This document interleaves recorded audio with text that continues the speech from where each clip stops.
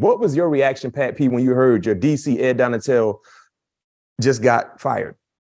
Uh, I was shocked. Like we all know how the business go. If they feel like you're not holding up to the standard that you know that they're holding you to, you know, changes are going to be made. It's just unfortunate that you know they had to make that change just after one year. Coach Ed is just such a great human being. You know, mm-hmm. has a great connection connection with the players. I just love the way he communicates with his players. You know, just mm-hmm. communicate mm-hmm. with everyone like men, um, as it should be. You know, so uh, I love this scheme. Um, just unfortunate we didn't perform, you know, better because it's proven that the scheme is the scheme works.